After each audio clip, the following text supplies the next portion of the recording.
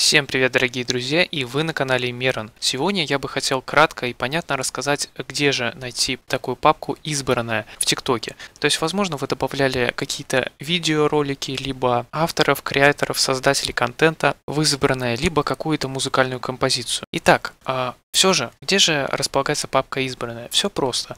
В вашем профиле, когда вы открываете свой профиль, здесь написана кнопочка «Изменить профиль». Но вы не нажимаете на эту кнопочку. Нам нужна вот эта кнопочка, которая располагается, получается, справа от кнопки «Изменить профиль». Мы нажимаем на нее, и здесь нам высвечиваются те видеоролики, которые мы добавили в избранное. В данном случае у меня один видеоролик.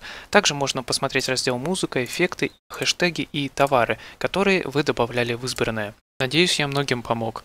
Друзья, попрошу вас поставить лайк на этот видеоролик, так как это очень хорошо поможет ему в продвижении. Я буду вам искренне благодарен.